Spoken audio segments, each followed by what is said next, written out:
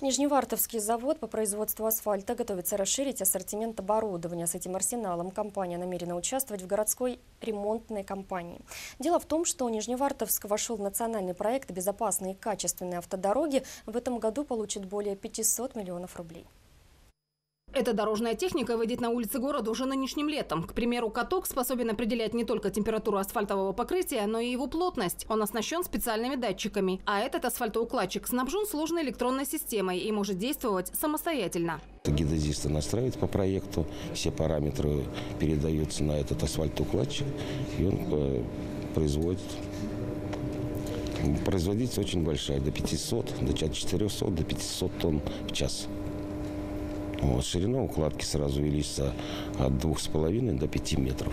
Технику обновили пару лет назад, но, как говорят в специализированном предприятии, если возникнет необходимость, то технопарк расширят. В последнее время в цех покупают только новинки европейского качества. А пока на очереди модернизация участка по производству асфальта и бетона. К примеру, к уже имеющимся дробильно-сортировочным корпусам добавят дополнительные емкости. Все это позволит запустить выпуск новой разновидности дорожного покрытия – щебеночно-мастичной. В будущем именно ею планируют ремонтировать улицы Нижневартовска.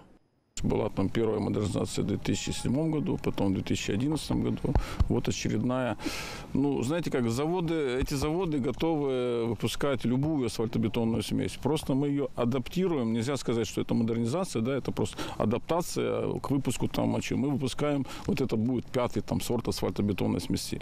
Нижневартовск в числе нескольких российских городов с численностью населения свыше 200 тысяч человек вошел в национальный проект «Безопасные качественные автодороги». Впервые на расширение системы магистрали выделят более полумиллиарда рублей. На эти деньги планируют отремонтировать 14 участков, а также начать строительство улицы, которая свяжет обе части города. В числе потенциальных подрядчиков называют и специализированное предприятие, в состав которого входит асфальтобетонный завод. Не надо дополнительно строить какие-то мощности. Есть мощности, позволяют и э, ремонта э, сделать, и более того, после модернизации производства. Поэтому, а то, что они находятся вблизи нашего города, это позволяет э, не завышать стоимость производства работ. Еще одно преимущество потенциального подрядчика заключается в том, что он уже готов к летней ремонтной кампании. Запаса готового материала на заводе хватит, чтобы отремонтировать все уличные магистрали Нижневартовска.